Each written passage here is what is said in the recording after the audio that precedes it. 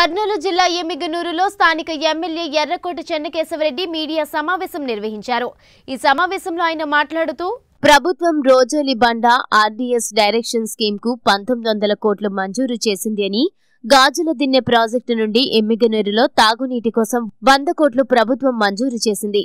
దీనివల్ల ఎమ్మిగనూరుకు తాగునీటి సమస్య తీరుతుంది అంటూ హంద్రనీవా నుండి గాజుల దిన్నె ప్రాజెక్టుకు మూడు టీఎంసీ నీళ్ళను వదలడంతో డోన్ ఎమ్మిగనూరు ప్రజలకు తాగునీటి సమస్య ఆయకట్టు కింద ఉన్న నలభై వేల ఎకరాల సాగు చేయొచ్చు అన్నారు. సంక్రాంతి కానుకగా ముఖ్యమంత్రి జగన్మోహన్ రెడ్డి ఎమ్మిగనూరుకు ఈ మూడు వరాలు ఇచ్చారన్నారు. ఇందుకు గాను ముఖ్యమంత్రి జగన్మోహన్ రెడ్డికి స్థానిక ఎమ్మెల్యే ఎర్రకోట చెన్నకేశవరెడ్డి కృతజ్ఞతలు తెలిపారు. మూడు టీఎంసీల నీళ్ళు అలాట్ చేశారు.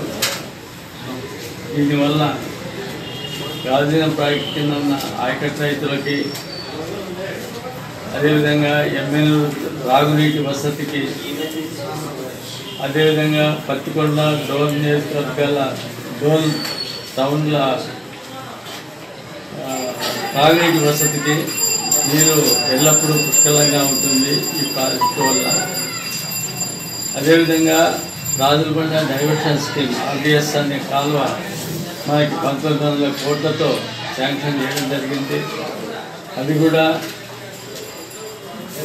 కోసికి నియోజకవర్గంలో ఎమ్మెల్యే నియోజకవర్గంలో దాదాపు నలభై వేల ఎకరాలు ఆయకట్టు సాగవుతాయి అదేవిధంగా ఎమ్మెల్యే పట్టణానికి గాల్దిన ప్రాజెక్టు నుండి డ్రింకింగ్ వాటర్ కోసం ఎత్తిపోతల పథకానికి దాదాపు నూరు కోట్లతో శాంక్షన్ చేయడం జరిగింది.